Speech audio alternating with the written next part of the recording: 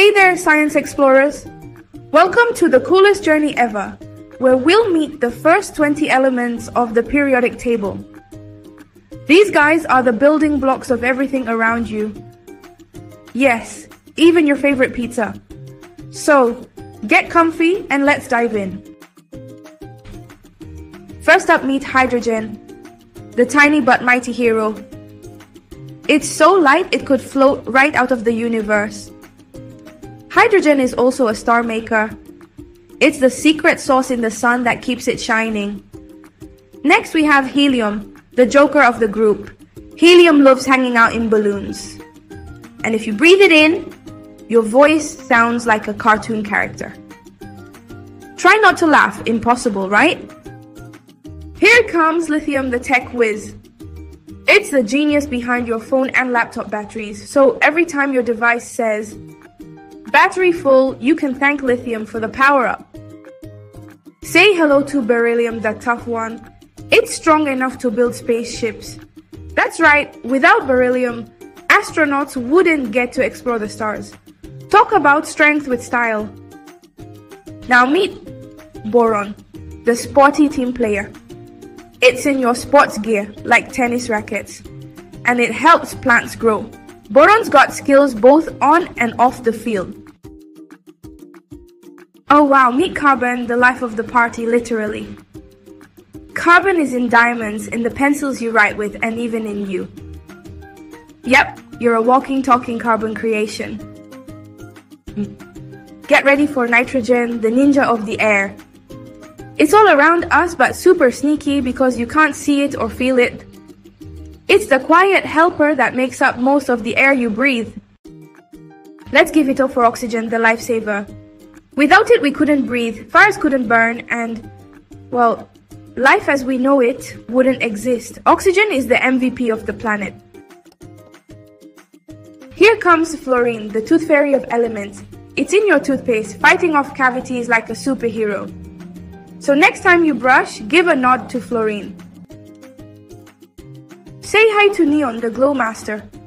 Neon lights up signs and makes cities look cool at night. It's like the rock star of the periodic table, always ready to shine.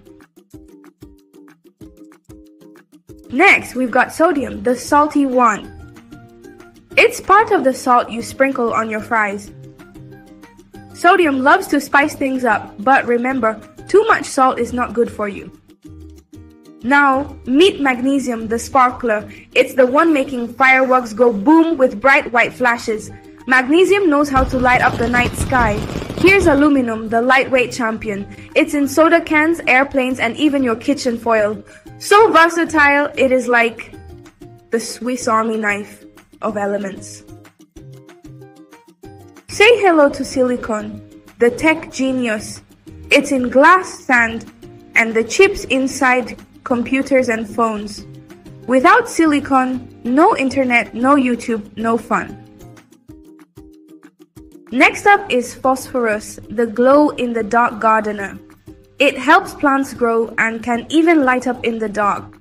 Spooky and useful, what a combo. Oh boy, here's sulfur the stinky one. It smells like rotten eggs, but don't judge it too quickly. It's super important for making matches and fireworks. Now, meet chlorine, the pool cleaner. It keeps swimming pools fresh and bacteria free. Thanks to chlorine, we can swim without worrying about yucky stuff. Let's chill with argon, the quiet type. It's in the light bulbs, keeping them shining bright without causing a fuss. A silent hero. Say hi to potassium, the banana lover. It's in your favorite yellow fruit, keeping your muscles strong and your heart happy. Bananas are basically potassium power packs. And finally, calcium, the bone builder. It's in milk, cheese, and your bones. Without calcium, we'd be wobbling like jelly. So drink up that milk. Wow. We just met the first 20 elements. Guess what? They're all around us, working hard every day.